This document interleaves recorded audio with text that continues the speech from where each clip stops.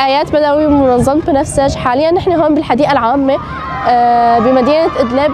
آه، بعد الزلزال المدمر اللي خلف دمار هائل على الأبنية وأيضا على نفسية الأطفال ونفسية الأهالي. آه نحن هون لحتى آه نخفف من هي الآثار النفسية. آه من خلال بعض الأنشطة الدعم النفسي يلي آه ممكن تعزز الترابط الاجتماعي آه بين الأهالي وبين الأطفال. أيضا لحتى تحسن آه نفسية الأطفال.